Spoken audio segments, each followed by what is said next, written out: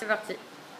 Bonjour à tous, donc je suis là pour vous présenter l'application Teletonix. Teletonix, qu'est-ce que c'est? C'est une application qui permet de mesurer l'attention et de voir, du moment où les battements du cœur diminuent, de pouvoir alerter l'entourage et les personnes qui sont autour. Comme vous pouvez le lire ici, le pitch, si un jour ton cœur s'arrête et que ton entourage s'inquiète, alors Teletonix donnera l'alerte.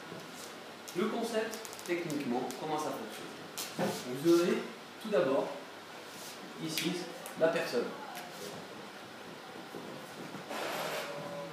Cette personne utilisera en fait un détecteur infrarouge qui sera relié directement par une puce qu'on appelle l'Arduino.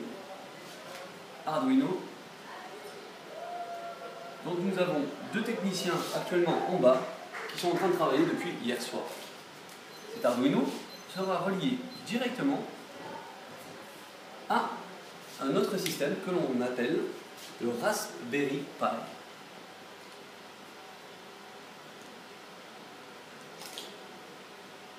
Avec deux possibilités de partage que sont le Wi-Fi ou le Bluetooth.